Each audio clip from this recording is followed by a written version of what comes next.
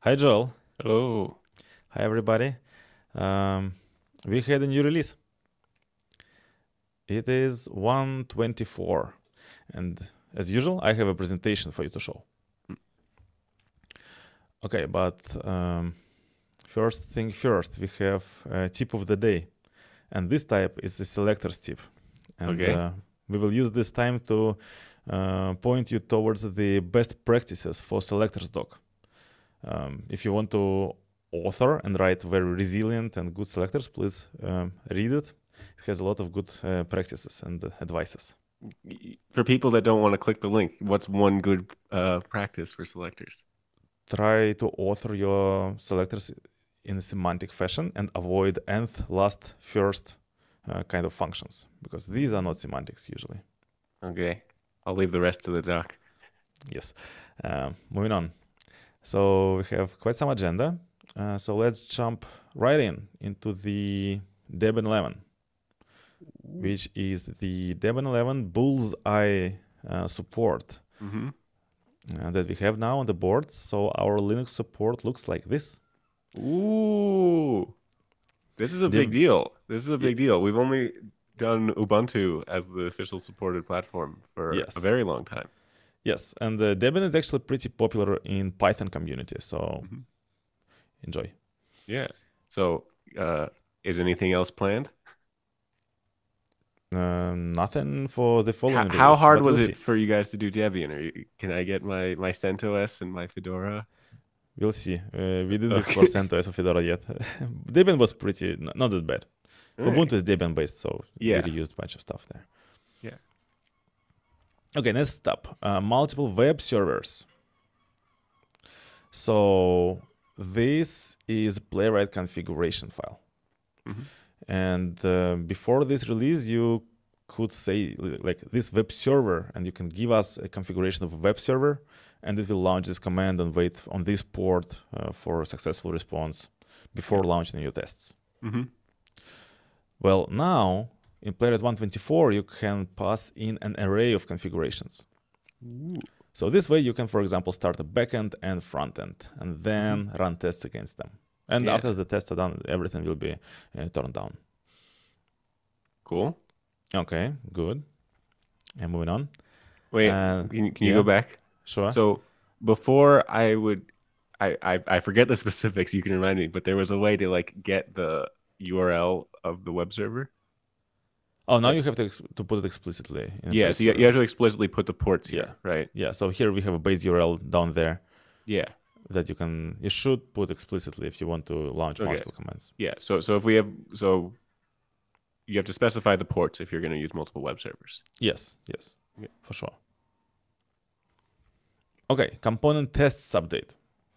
So this one we will not go deep here, um, but just for your information, there are now before mount and after mount hooks for your components. Now, if you happen to be using component testing and you're playing with it, go head over to our release notes. There is an, a description and snippets you can try out and see how these works. If not, then just disregard. Okay, I will disregard. Yeah, let's let's move on. Uh, next up, anonymous describe. Now, a little bit of a story. Now, say for example, you have this test file. It's foo.spec.ts, and you can use this test.use command to specify some options uh, file-wise. So Mhm. all the tests inside this file will have this color scheme. Alternatively, you can group your tests in a test suite and specify test.use inside this suite. Mm-hmm. And this way, all the tests inside the suite will have this option. Mm-hmm. Now, what we noticed is that many people actually come up with artificial names here. Well, this one is not that artificial, but sometimes you want to specify a bunch of options and there is no good name for them. Mm-hmm. So now you can just disregard and you know just have this test described without a name. Great. Small feature, but very convenient. Yes.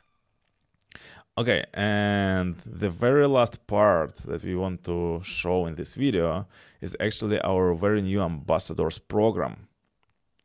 And uh, I want to give a big shout out to our first ambassadors.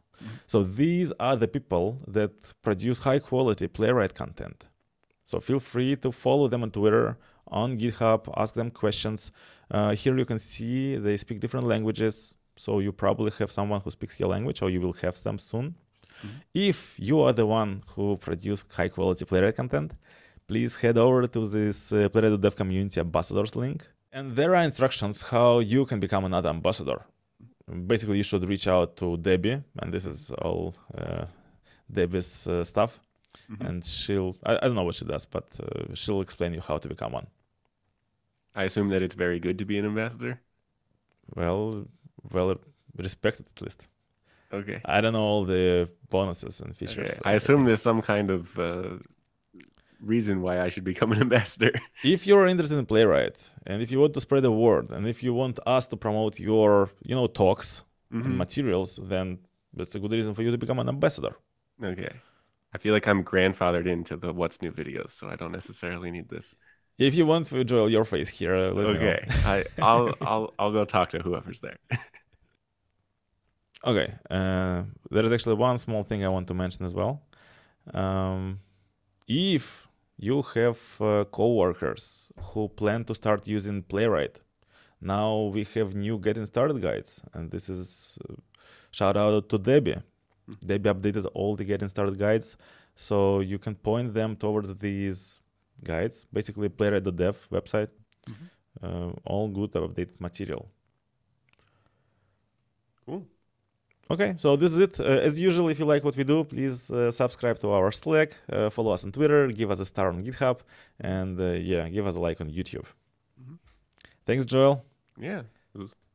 See you in 125. Yeah, see you in 125.